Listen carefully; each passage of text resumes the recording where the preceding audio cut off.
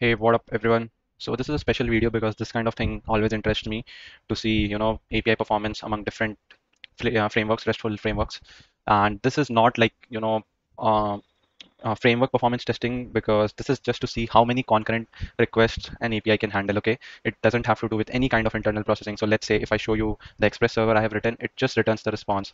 And let's say if I had something like you know for loop which would iterate thousand times before sending the request, then it would have been a different case altogether. Okay, so we are not doing any such thing. We are just testing how many concurrent requests a particular endpoint could handle. That's it. Okay, so we will start. We have considered Express. We are going with Fast API. We are also checking for Play Framework Scala. Then we are going for Go Gin and finally express next endpoint okay so there's no I, I don't see any much difference in these two but just for the sake of you know building it into the production uh, next export uh, next build which will give me the production build and then I would be using that okay and so you have your time you can pause the video and make a guess for which will be the better performing one uh, in my opinion uh, I'm just you know writing it out here. Go should be the number one because it has a lot of concurrency model handling already inbuilt and it does it pretty it does a pretty great job there. So the number two would be either express uh, or the express next Reason being, we all know how JavaScript handles asynchronous programming. In case if you're not aware, I would highly recommend you, you know, watching one of my videos. I will put the link in the description and in the i button as well. Uh, so it, if I give you a very small spoiler, it is basically uh, JavaScript just outsources all this work to the operating system. And because it's a single threaded, still it is able to do all this asynchronous programming, which is, you know, awesome. So that is one of the very interesting concepts of JavaScript. And you might be asked about that in a lot of interview questions as well. So I would highly recommend checking that video out. Anyways, moving ahead. And then in between Scala and Python, I would definitely say it would be Scala because Play framework is quite optimized microservice and I've been using it and I feel that you know it is definitely going to be much better in case of performance. Of course, it requires more boilerplate and a lot of Java errors that uh, is very difficult to figure out. But uh, you know, uh, it is what it is. All right. And then Fast API, of course, it is it is said as fast, but these uh, these frameworks are way too faster, I would say.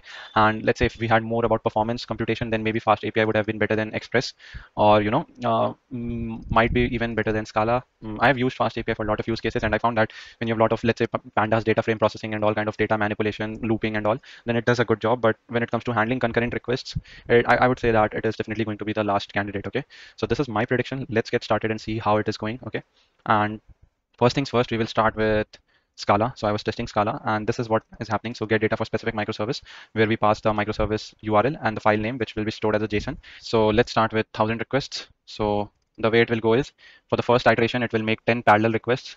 It will record its time and everything and it will add it into JSON. Then it will go 100 then 1000. And since we are going until 1000 only, so it will be like this. So yeah, so that is how it is going to happen.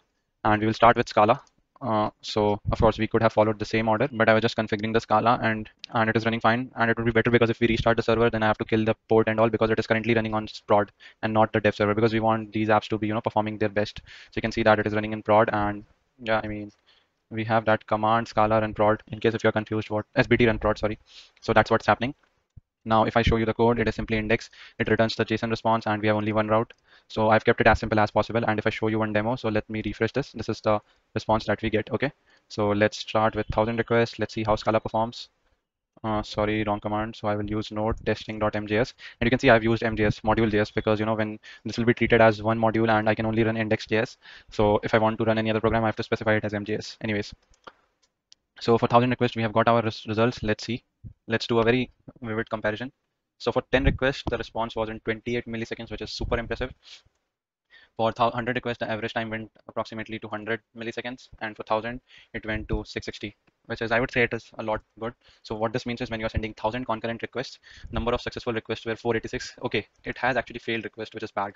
So we have 486 successful requests, 514 failed requests, and average response time was 660 and average maximum response time was 692 and minimum response time was 409 and this is all computed in this 486 successful request okay and nothing else. So i would say it is pretty impressive but when it comes to 1000 requests it does fail a lot of requests which is a little bit concerning. And let's quickly run it once again just to be super sure. And we again have a lot of failed requests which is bad actually. But anyways so let me create a folder 1000 requests and add this here. Okay so we have scala done. Now we should move up or down let's move up. So we will have python. And if i open a new terminal so virtual in, uh, environment is activated that is great. Then we need to navigate into fast api and based on the code as you know it is python so it will be the least code. We have only one route again get and the same message.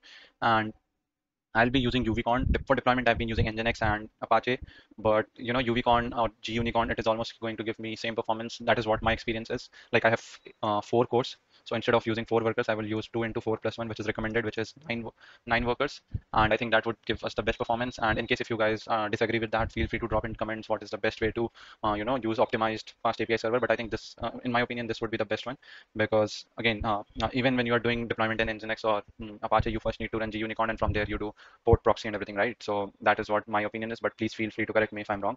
And let's run it. So we are running it with nine workers. So it is up and running. So, and of course I need to kill this just to be super sure that that there is no other interruption. And I also need to kill the PID.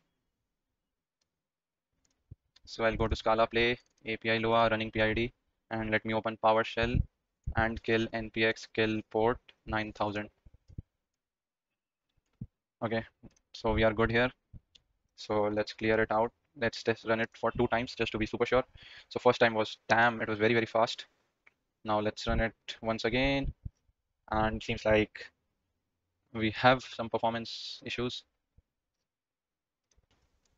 I'm not sure what has happened but let's see the first results. Oh we see some big numbers out here. 19 milliseconds which is very very faster if I move into here.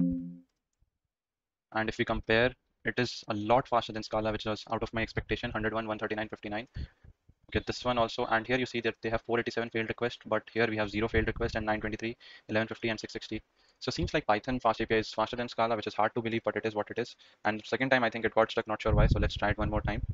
Okay this this is super blazingly fast. I had to say if you remember it, it definitely is faster than um, Scala for sure. So you can see these numbers 113 155 75 you know uh, almost near to Scala I would say. But if you see all the numbers like 30 41 this one also and here you see zero failed request which is the big deal. So that is the biggest thing. And this these ones response times are faster but again it is on these successful requests so I think fast API is definitely the winner in this round. So let's close it out. And we can maybe replace this. So we are definitely impressed with fast API I didn't expect it to be as fast, uh, fast, as fast or at least faster than Scala. So let's kill this one and let's be super sure that we have killed it. So again, PowerShell, mm, PID, no, npx kill dashboard 8080, I believe. Yep, that's killed.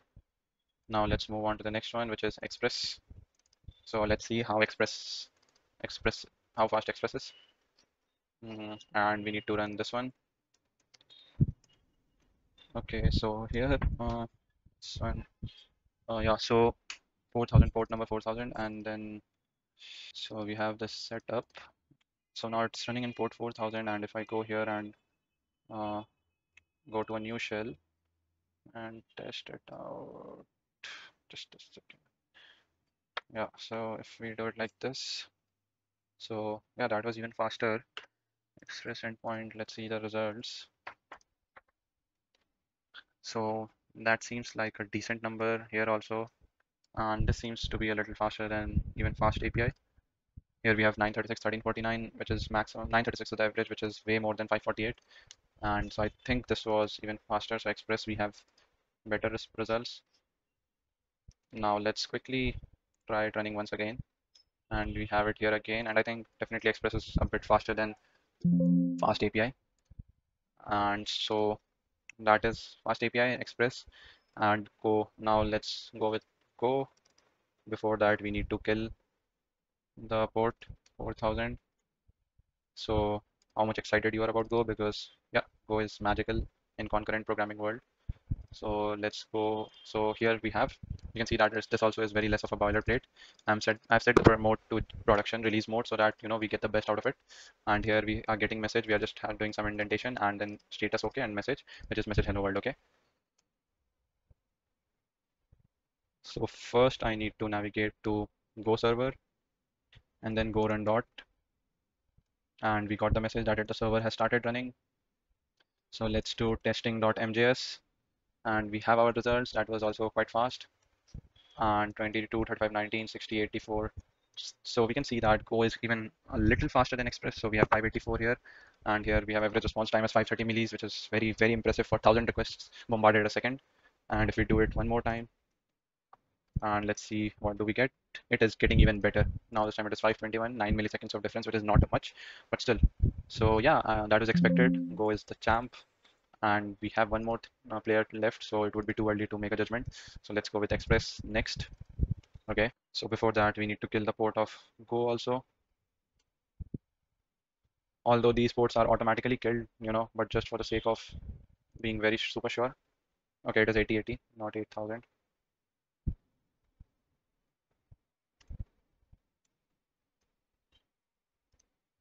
so we need to stop the server kill the port. Yeah. And now so here you will see again we have just single handler.